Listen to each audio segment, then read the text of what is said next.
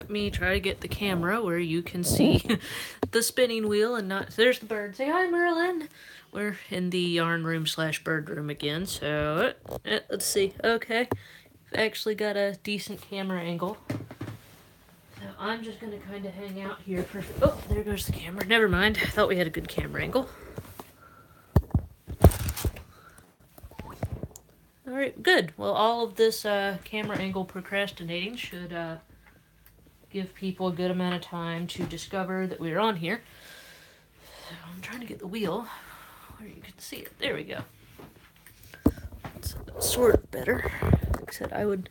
It's better when I can do this downstairs, but my kids are still awake.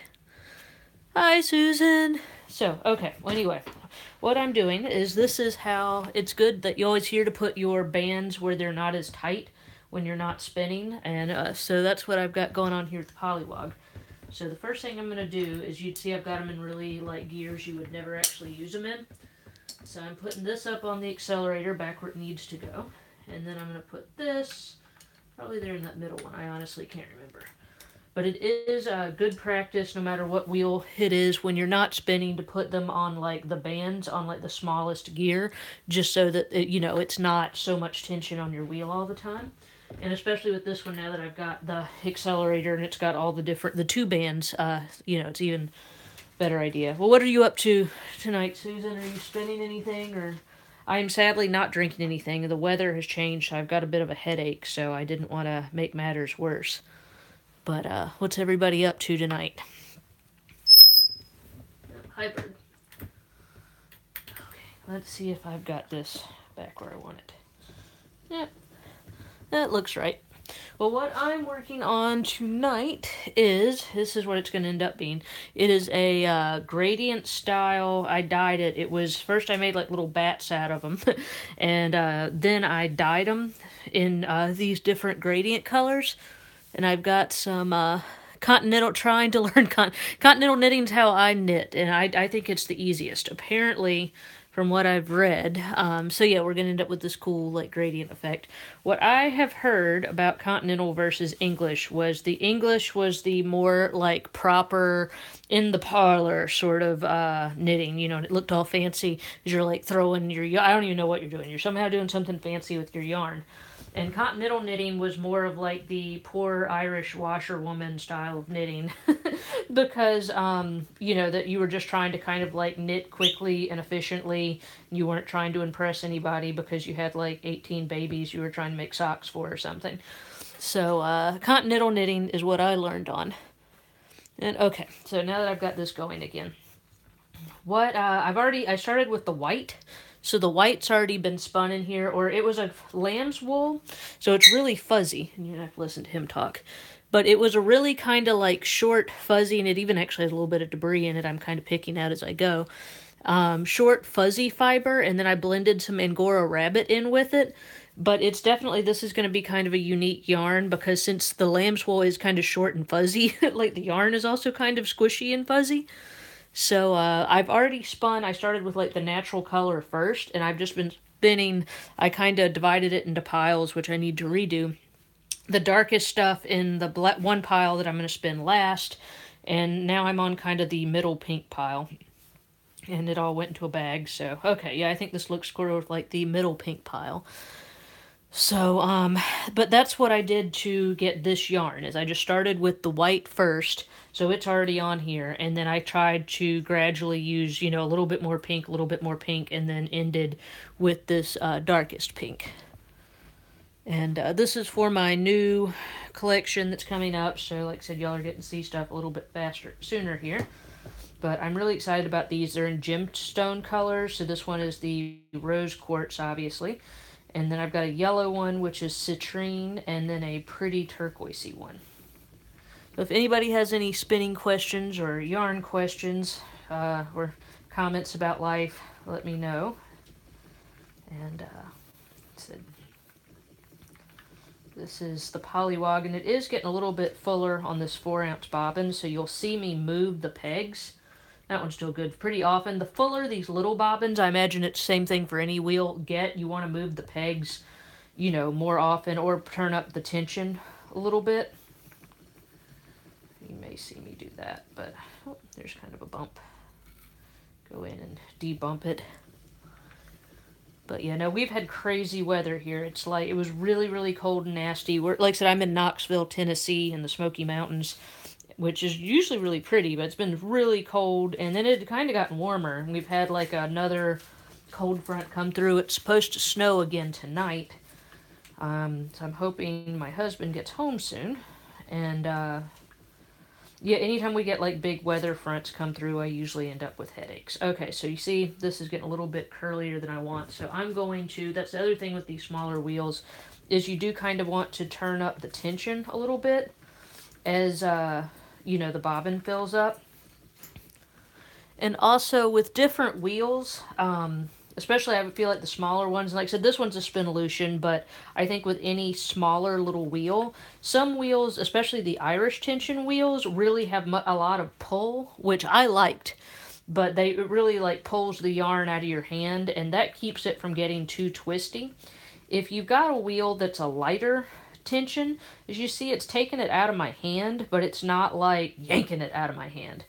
So that's one thing, like I said, as a dealer, sometimes people I hear will be talking about these little Pollywogs of they're like, oh, it's getting so twisty, it's getting so twisty. You can really either end up turning the tension up if you want it to really take it out of your hands, or what they recommend, and like I said, I imagine this would be true for many different wheels, is you're kind of, see how I'm kind of feeding it into the wheel?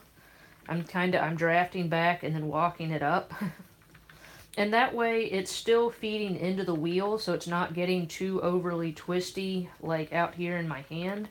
But I'm not expecting this little wheel to be like, you know, really jerking it out of my hands like I would with like my King Bee or a bigger wheel. So I think that's been sort of a uh, soapbox I've been wanting to soapbox about for a while. Is like I said, just in I'm in a lot of spinning forums and stuff. I'll see people complaining about on smaller wheels of oh it's not working right or oh it's broken or you know. And I think it's just if you're used to working on a bigger wheel or a more powerful wheel. For any sort of a smaller wheel, I mean, you got to cut it a little bit of slack, you know, and it gets, uh, you know, the wheel's only so big, the bobbin's only so big. You're going to need to kind of, you know, either treadle your feet slower so you don't get too much twist up in here, or, uh, like I said, I always compare it to walking a dog, kind of walk the fiber up into the wheel that way. So, uh, like I said, I think that might help some people. And I mean, every wheel is different. I remember, uh, like I said, the Louet that I used to have, if I tried to spin on that now, I'd probably have had like one big foot pedal over here. I probably wouldn't know what I was doing on that now. Any time you go from like your wheel to somebody else's wheel, or um, you get a new wheel, like I'd say you probably need to reserve any sort of major judgment until you've been spinning on it and played with the tension and the gears for at least a couple days or you know maybe a couple yarn projects eh, before you you know start making any harsh judgments on uh, that particular wheel. But I mean I feel like this one's taken it just fine. Um, and I have slowed my feet down a little bit just to keep it from getting overly twisty. I don't know, our Spinners Guild meeting in Knoxville. We have an excellent Spinners Guild. Um, is this Saturday, and I'm taking one of my good friends with me who is a knitter, but she's never been around spinning, and she's coming up from Florida to visit. So um, I know she's going to be freezing cold, but it should be fun though. She's going to be in like a room full of people with spinning wheels, like every different type of spinning wheel. So if you live, even if, like I said, even if you're just a knitter, we have people that just come and knit at our Spinners Guild. If there's any sort of uh, Spinners Guild near where you live and you're remotely interested in the fiber arts, it has been just a tremendous, uh, you know, resource and just a, a great experience. It meets once a month. So, uh, you know, if you're having trouble finding something, I, I'm the webmaster for ours. I might be able to help you find something in your area if you're in the States. So, you know, feel free to email me. My email is always uh, Erin at craftyhousewifeyarns.com with any sort of like questions like that, and I will do my best to uh, track down some answers for you. But, uh, yeah, I don't have too much more going on tonight. So, anybody have any questions? Comments? Concerns? What's everybody doing tonight? All right. Well, I don't uh don't have too much more going on, guys. I'm sorry. so I got to go check on the kids. Uh, husband's been working late.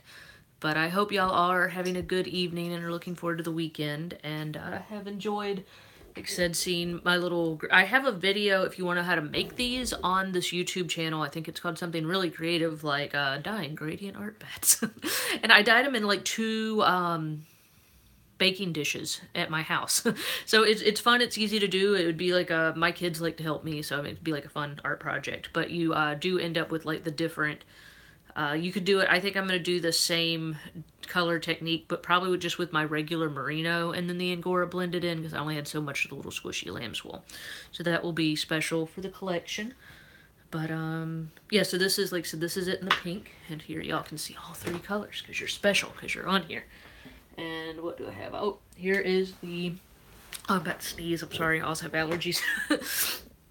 this was the blue in the same idea of the, uh, you know, it goes from the white to the dark blue. That's the turquoise. And then this one is the citrine, which is the, uh, off the same. And like I said, it's the same materials for all three of these.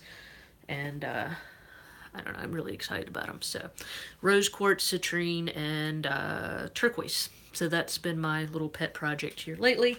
And uh, you can see, like I said, this is the little squishy fiber bats that I dyed uh, that they started out as. So anyhow, hope y'all are all having a good night. And uh, I guess I'm to go hunt down some more Tylenol.